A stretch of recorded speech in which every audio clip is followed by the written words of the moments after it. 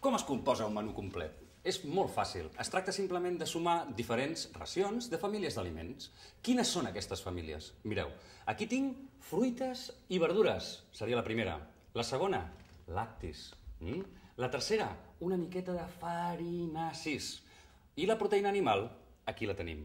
La última que ens faltaria són els greixos saludables, que... Però si tinc l'oli d'oliva.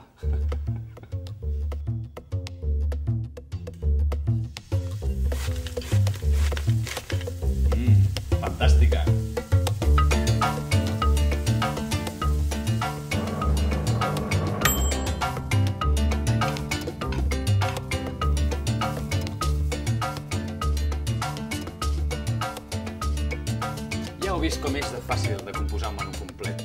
Això és iCook, un manual que t'ensenya què menjar i com cuinar-ho.